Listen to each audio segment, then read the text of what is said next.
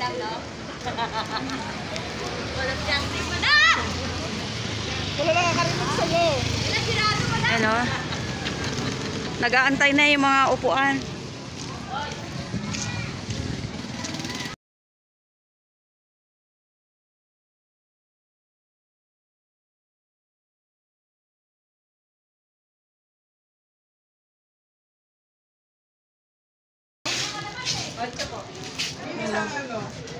Waiting sa...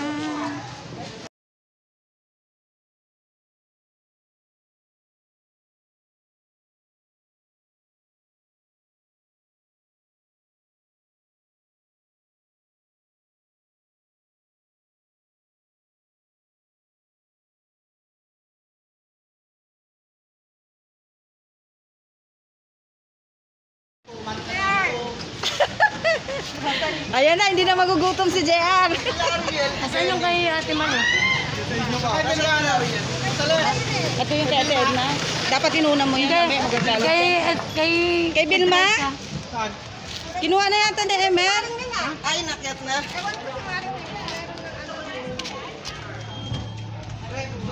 Ito. Uncle.